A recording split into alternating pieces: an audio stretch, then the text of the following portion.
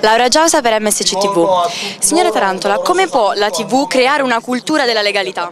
Ah, può, ha molti strumenti eh, che sono proprio le attività che lei svolge, l'attività di informazione, l'attività di educazione, l'attività di intrattenimento anche. Ognuno di questi strumenti può essere usato per trasmettere soprattutto l'informazione, ma come dicevo anche gli altri due strumenti, il senso importante di essere tutti consapevoli di quanti danni fa la criminalità organizzata, ma anche tutte le altre attività che ne sono alimentate e che la alimentano, come la corruzione, come per esempio l'evasione fiscale, il traffico di droga, il lavoro nero.